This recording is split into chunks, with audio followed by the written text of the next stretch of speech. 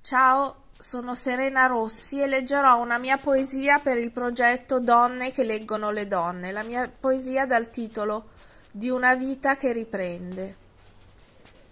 Corri, inciampi, arranchi, ma non cadi.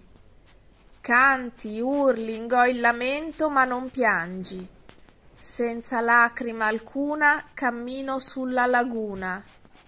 Attimi passati di una vita che riprende lenta, dove non sai, dove non vuoi, dove non puoi.